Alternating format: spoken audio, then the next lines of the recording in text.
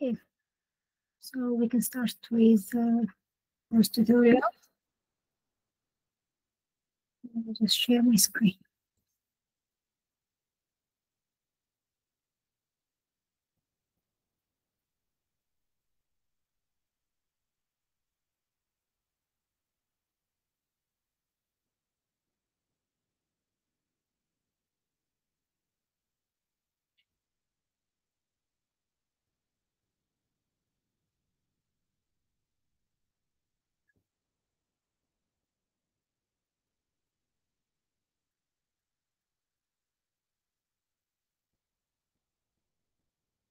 Uh, you can see it, right?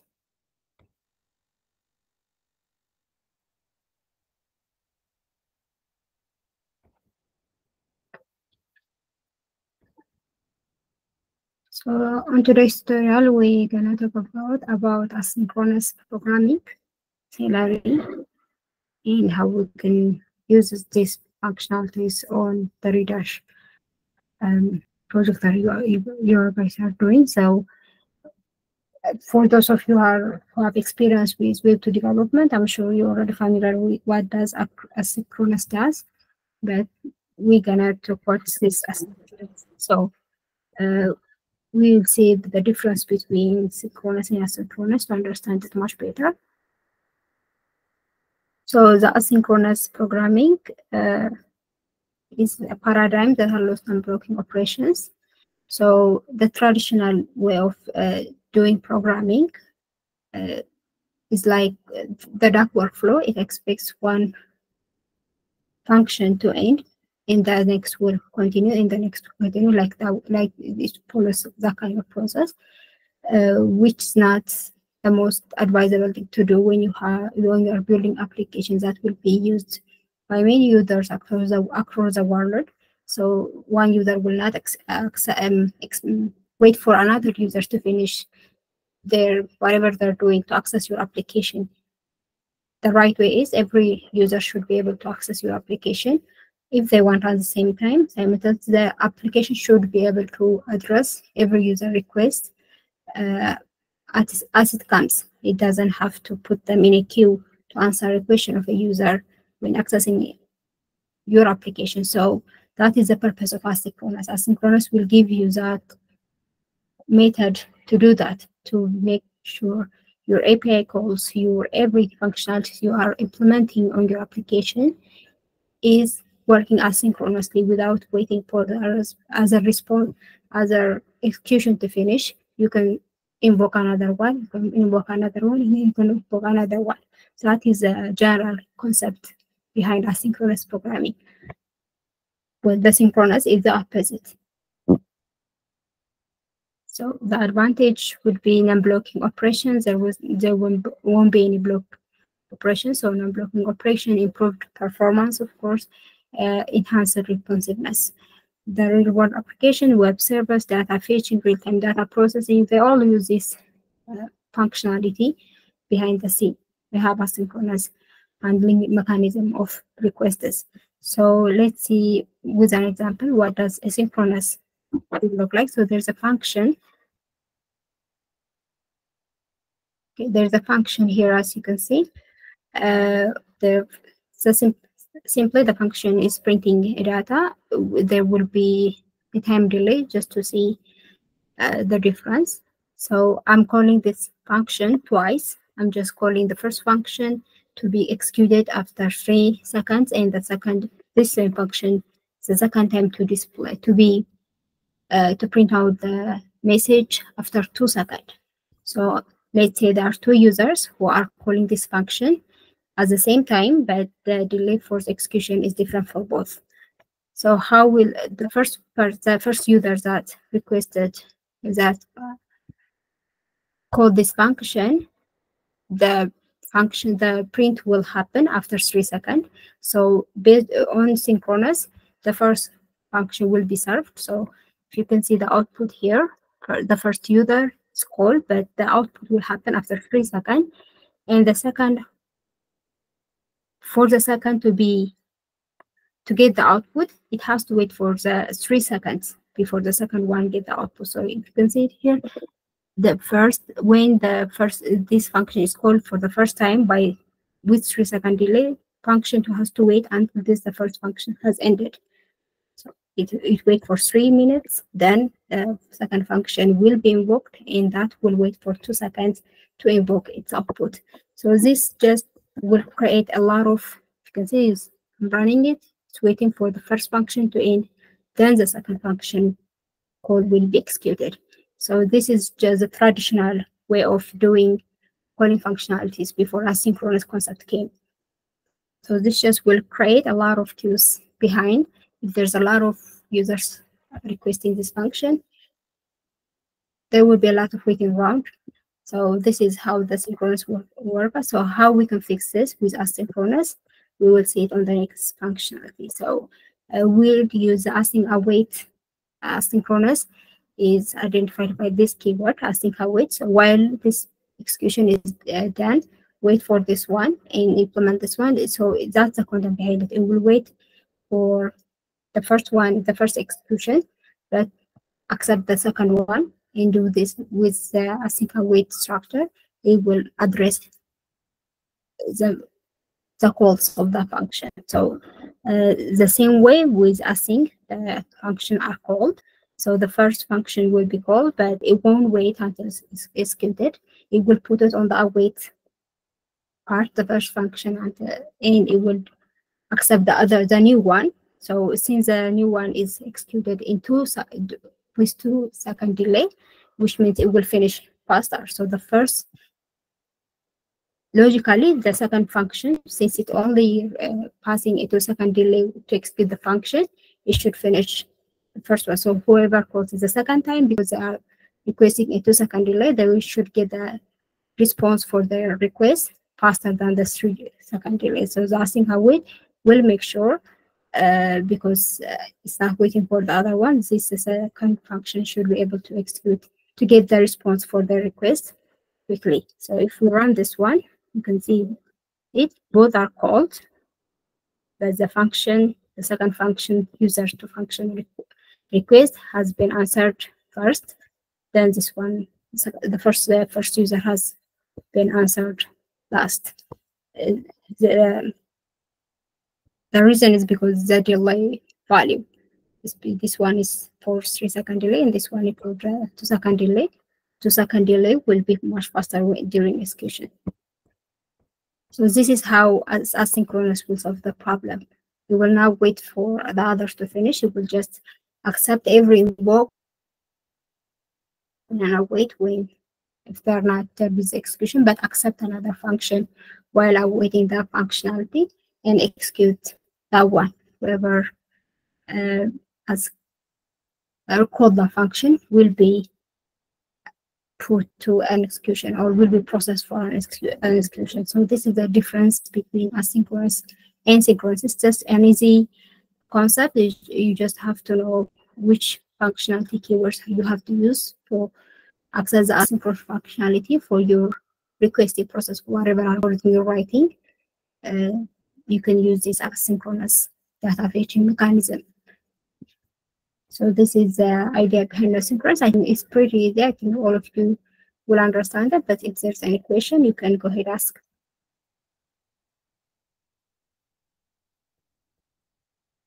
So this is all about async await. We're not gonna waste too much time on this concept, but if you have question again, uh, please raise your hand and uh, we can move to OpenAI concepts. So I think you already seen how you can use OpenAI with Internet yesterday, but I will just add some more points on it. Um, I just did a simple uh, configuration to access my OpenAI key. Then I here I initialized um, the module to accept user question and answers um, for the response for the user question. So here I just want to mention if you want to add new data, there is already the information that the model already knows and it will answer you based on what it knows your question. If it doesn't know, it will say, I don't know but it will answer based on the information it has by the pre-existing trained data sets you already been trained on. But if you have, there are informations that the model doesn't know currently.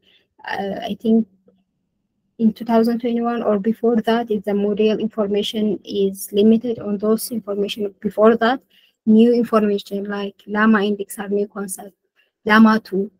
There are new technologies that come about, new information the model doesn't know. So when those information uh, exist, there are different options that you can do for your model to be to make your model familiar familiarize with those new concepts, with those new data that it doesn't know.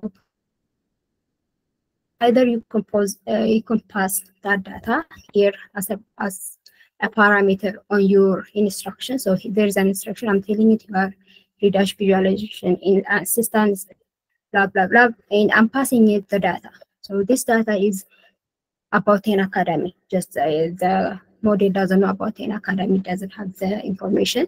So let's uh, if I want the model to answer me any question regarding the Athena Academy organization, I have to pass that data so the LLM would be familiar to answer those questions. So in your case, you are passing this Postgres data to the LLM to answer questions. So how you will pass that data would be like this, but this not the only option. Right now you will use this one just to, for the general knowledge. There are uh, three ways how you can make your LLM familiarize with new data that the model has no knowledge of. That would be the first one. You can pass it like this. The second one, you can fine tune. Fine tune, which means you can train the model to understand that data. So you will go with another procedure to train that data with these new models by going through different steps. You will split those data, embed it, put it in vector database. Just there's a lot of stuff, and you will fine tune it. Just there's a concept that uh, named fine tuning where you will train your model so it will be familiar with it. And the other would be there is a, a retrieval augmented generation RAG. Uh, it, it is to fine tuning a RAG. You will see them on the future projects, but I will mention them here so you can uh, have some knowledge on them. Where, where the RAG is doing is it's not fine tuning. Fine tuning does require many because you are accessing uh, computational. It does need computational GPUs, um, keys that are paid. So when you fine tune a new data to a model, it does require time, resource, uh, a lot of things that are costly does need that. But with RAG, you don't need to have this computational energy to train your data. It just you'll connect your model with vector database and access that data. This vector database has the capacity to give you a similarity search which you can ask a question to that vector database and it will try to return similar search based on your question and that right information will be passed to the model and the model will give them a final response based on the information that it get from a vector database. So the RAG would be outside the model, but still it will give you some kind of some kind of access to find the right answer for a question that the model doesn't know of. It's just uh, another concept, but there are three options for training a model about an information that it doesn't know. So for now, you will probably we will use this kind of uh, way to let know the LLM there's a data that you don't know and make sure to enter those user information based on this. So you can put that data exists. So I have put this uh, sample mock data about Ten Academy for the LLM. Now this, the LLM has this information. So whenever I ask a question about Ten Academy, it will understand, it will have this the access to this data and it will uh, give an answer for the user question about Ten. So since this is based on the information I gave it, it can start answering user question. So this is one way to do it how you can inform and let them about information that uh, he has no any knowledge of. So this is the point that I want to show you here on this example. So uh, the other thing I want to mention would be um, I will put the reference on the later tutorial link uh, presentation, but if you want to have some um, memory, if the LLM, especially when you have this chat conversation with the LLM, at least for some time, the LLM should have memory about the data, about the conversation between the user so that the LLM can be more uh, responsive and interactive with the user. So for example, if I ask, ask this question for the LLM, but if I ask another question, it won't remember the conversation I had with the, with the, the model about this question. So it will be a new thing every time you ask the LLM. So not to have that when you have a chat application, the, the LLM should have a memory of that chat of the user for some time at least. So there are two types of memory in LLM, short memory and long memory. I will uh, give you as an assignment to read upon that uh, because it's just uh, passing too much data on the LLM is not also advisable, not because it has it's because it's costly. So if, for example, if this data is very large data, LLM will show an error saying I have meet my maximum token limit. So uh, there is this uh, limitation that you have when you use LLM, and you will face it also on this Redash application. When you pass all the data to the LLM, it will throw an error because the data we have given you is too big. It will throw an error, say I have I have limits, this is the maximum token that I'm allowed to access. So it will throw an error. So to avoid that error, you have the option either to limit the data yeah, that's the only option that you have, or you have to uh, upgrade the model, which you can go to their website. They have a token limit upgrade for uh, for their service. But again, even if you get the last uh, upgraded uh, account for their maximum token, sometimes that might, be too much and still will throw that error. So it's just the option you have is gather the important data and pass it to the LLM so that error can ha cannot happen. So in the memory also, the same thing. The, the too much memory you give, storage you put on the LLM, it can cause that error.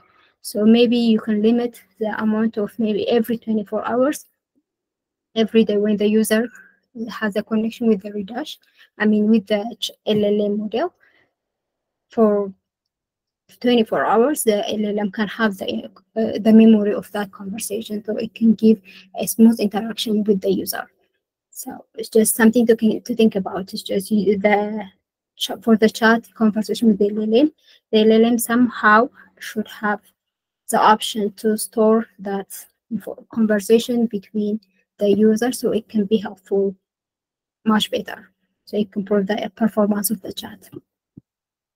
So I'm going to say this about the LLM thing that I want to mention, and let's just go to the Redash execution with asynchronous. So there's nothing big here. It's just to say you should use on the querying whatever algorithm you are putting uh, for the Redash querying visualization with LLM to use the async await because a lot of users you are considering you are building this app for a company you, a lot of users will access that chat. So it should contain async await, asynchronous way of handling the data so that it can have a smooth interaction with all the users.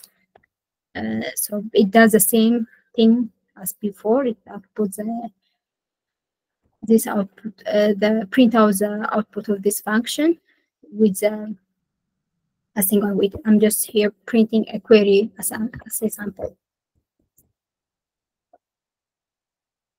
if, if it's the right up to second without smoothly waiting it, there's no, I'm not calling it twice, but I, I've called it once. So it printed based on the asynchronous async await logic. So it's just to say you should do this kind of calling when you create your algorithm for the application. Uh, now let's move on to Celery. Celery has similarity with uh, async await it helps you it just do it much better for in a big distributed task. So it will divide those tasks. Just they have the same uh, functionality. It's just is a tool that does it much better with a big platform. It has a, manage, a managing a managing tool, a managing way of handling all your tasks on your application uh, smoothly. So you just uh, so it's it's a tool that you install with PIMP. I mean, sorry, PEEP. You can install Celery. Uh, just a simple installation. Then you will uh, make sure when you have a Celery app, you can just create a Python file and add your functionality so they can be accessed all over your application. So you will invoke your, so you will import this Celery file on your components and the management will happen here. So it's just the same thing, it's just the structure of how you can uh, do the Celery configuration. You can search on their documentation as well. It's not, it's a simple procedure. It's just the only thing you have to know about Celery is how you can structure your function on your application so that you can access the async await concept that Celery gives with a better management. So I already installed Celery and I'm running Celery on the back. I have also uh, with Docker, I have in um, it's, it's using it's running on the uh, above Redis, the Redis tool. So it's running. I give it a port. I can change this one, so I can run in localhost. So uh, it's running on the box. Uh, I have two functions just to show you a sample example, the add and the multiply. So the add function runs after five seconds and the multiply function runs after three seconds. So let's see what happens uh, when we call these two functions. So I pass uh, for the add and uh, multiply function. I imported them from this configuration file here so I can access them. So I'm calling and passing a new delay to parameters. So I'm accepting x and y right here. X and y. So six times the first one would be six times two, 12, the multiply, and this one should return 8. Now we only the thing the only gonna say is who's gonna run first and who's gonna run last. So and are we able to run them without wait, waiting for one execution or not? So let's just run it. It does the same kind of logic like async await. So by definition, the multiply should execute first because only need three. It only uh, will execute after three second delay and this one after five. So this should this one should be the first one to execute if everything is working as it should. So yeah. So uh, the multiplication one first, the addition run second, as it should. So this is how you configure Celery to handle your functions, how they respond to users with the same logic as a async await. And it's just a management tool for handling requests. Um, what else is there? Okay, we are gonna finish up. Okay, so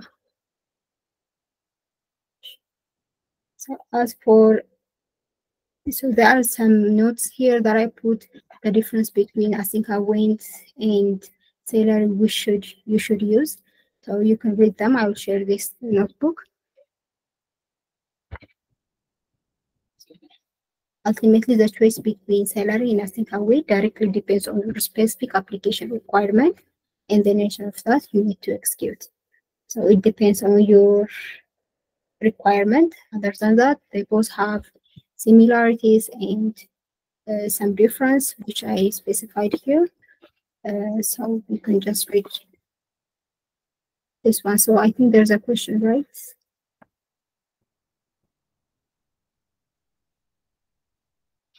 Maybe I had it wrong. I had I thought I had everything comes out.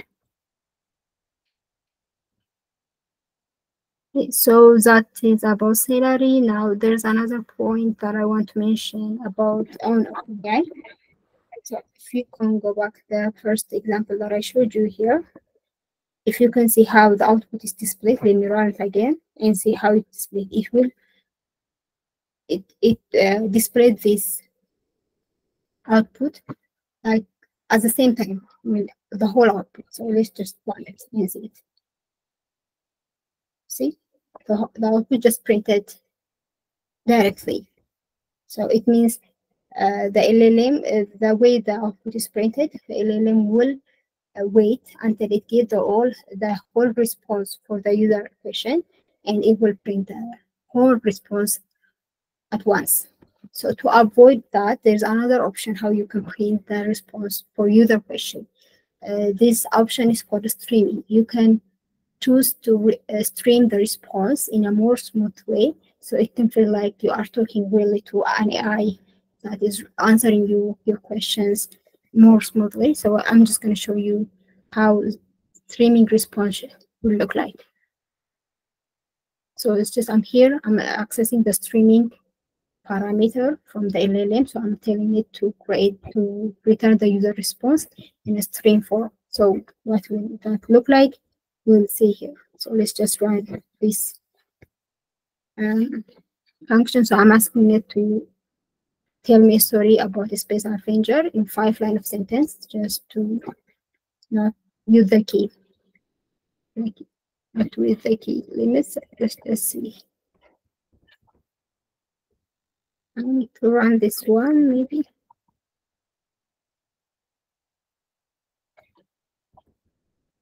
You see how runs this, the way streaming does when it responds the data, it will just output the data line by line instead of waiting the whole response to come maybe just post or print it on the whatever platform you put it, it will return the response by this way. So it's more smooth. So uh, the only thing that you have to do is you have to, uh, if you go to the LLM or OpenAI, in this case using OpenAI, there is a the documentation, so option for streaming response. It will give you which parameter you should include to have a streaming response. So it's just something usually on AI project, this way of uh, AI response is much prefer. So I figure you should see it also. So this is what it does. You will check the response and answer the question in a streaming way. Okay. So here, let's just conclude our uh, the tutorial. So we have seen Celery. Uh, Celery will enhance data queries in Redash. It's just the fact that it will just the man it will make think, uh, function management to answer user requests is in Async with logic much better. So it's a management tool to handle your uh, user response, uh, users interaction with your application in a much better way. Use your function, use your backend APIs. It will make it, the management of Celery will make it much better. So the concept behind Celery again is similar with Async Await. It's just the structure of how you will do that is different. So you have, you can refer the Celery documentation to understand that better. Uh, so here, the advantage of this integration is to improve the performance, the scalability, the reliability, so it will give you this advantage.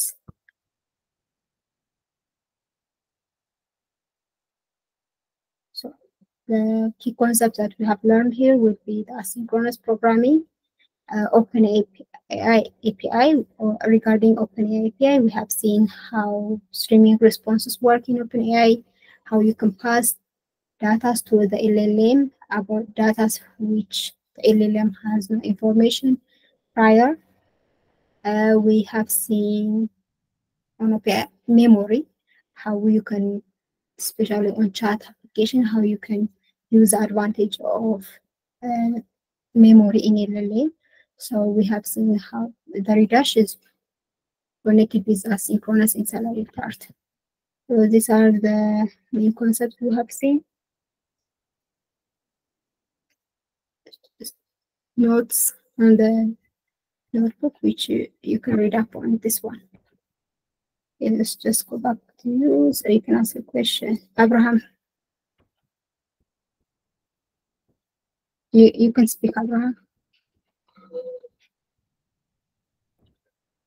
This is a GitHub link to access the folder I'm using right now. If you want to, you can access the GitHub. Is it clear? Is there a question? Was that a question, Abraham? No, it was not. Uh, it was an accident. I'm sorry. Please continue. Okay, so is it uh, clear the point that I want to mention on this tutorial? Maybe it says. Yes, it's clear. Yeah, thank you, Abraham. What about the rest of you?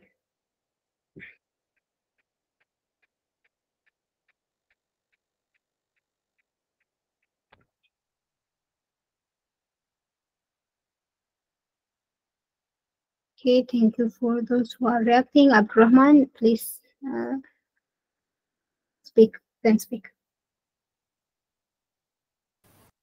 Uh, sorry, Rahmat, uh, it was breaking from my side uh, all the session. So my question is how, uh, if you can summarize this, how Celery can enhance my uh, readership? Uh, did you heard me when I present on async await, or do you have maybe prior experience with asynchronous way of handling Uh, data? I- I didn't get the, the idea of the asynchronous. Okay, so uh, let me, let's say there's an application where user can access that application for, I don't know, for different purpose. So if you you if there are three users, let's just say that that's not the reality. There are millions of users for an application. that is on, I mean, an application, a well-known application can have million of users. So if you have that much users, and if let's say user number one is asking the application to do something, it might be converting a PDF to a document, depending of what the application is doing. So if you don't have asynchronous await of data handling, and if user number one asks that, and if another user asks the same uh, thing or different function for that application to do something to some task for them, if you don't have asynchronous asynchronous await functionality, uh, the option that you would have would be the synchronous one, which is the traditional way of doing things. That is, the application will hold the second user on hold, execute the first user request first. Once it's done, it will accept the second user's request and accept, uh, execute that request. That's how the synchronous or the traditional way before asynchronous await of handling comes. That's how data were handled. So it will wait for the first request to end, then the second will be will, will be in process after that one.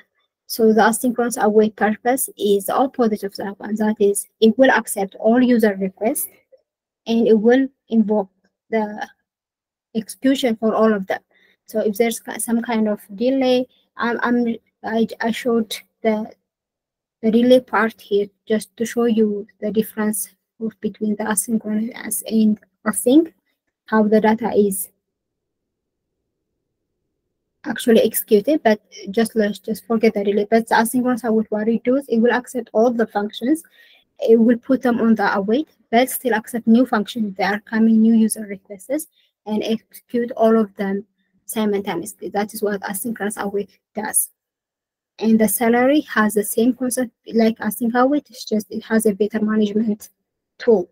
That's all the difference. But the behind it works the same way like asynchronous await. So now uh, the main thing is, do you understand the difference between synchronous and asynchronous? What their purpose is? Rahman, can you? Uh, yeah, it's it's kind of clear now. Yeah. If the asynchronous await concept is clear, it means Celery is clear. Or how to use Celery, you can search that just as different architecture of handle it, but it's the same concept. Okay, Tamaskar. Hi.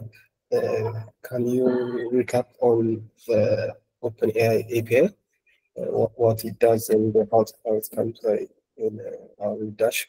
How we can uh, what what it does on the on our on our uh, chat add-on. Can you recap on that? Okay, so if I can um, talk about directly to the project, how you can use the OpenAI, that is the one thing that you have to do now is pass the data to the LLM so that data can be uh, the LLM can get familiar with the data so it can answer you the question regarding the data well. So what the thing that I mentioned on the tutorial is that you have to pass the data. In general, right now you will not use a RAG and fine tuning options, but there are three ways how you can pass the data to the LLM.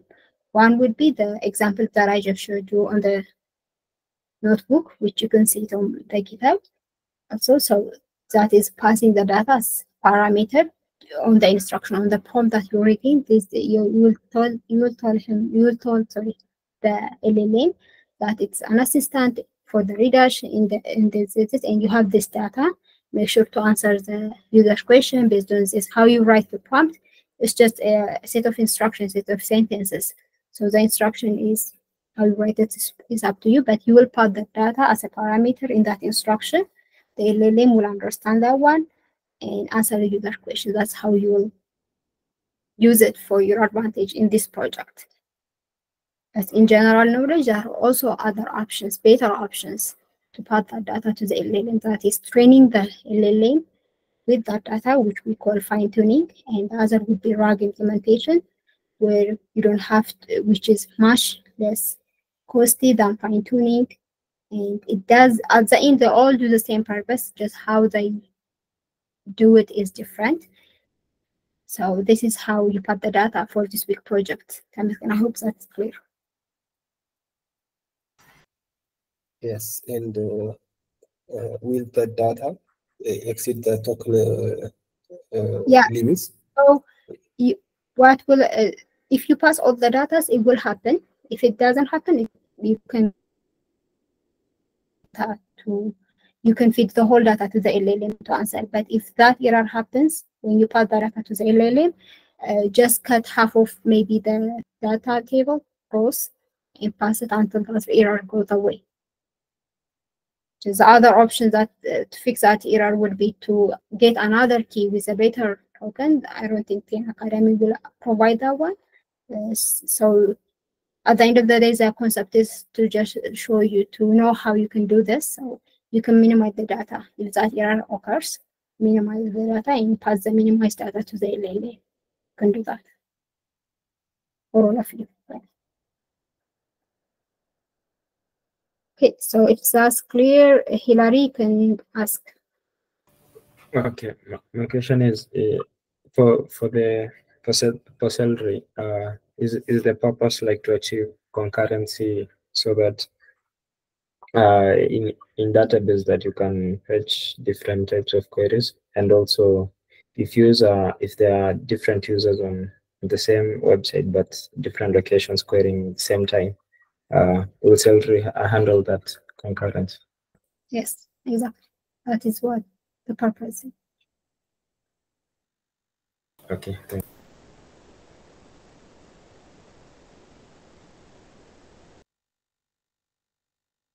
Okay, so uh, no more question. Is there any confusion?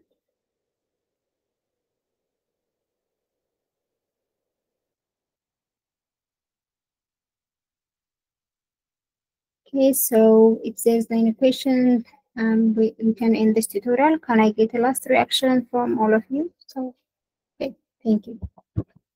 I'm just gonna stop the recording as always, especially on the Redash installation. Please, please reach out on the Redash, um, I mean on the Slack.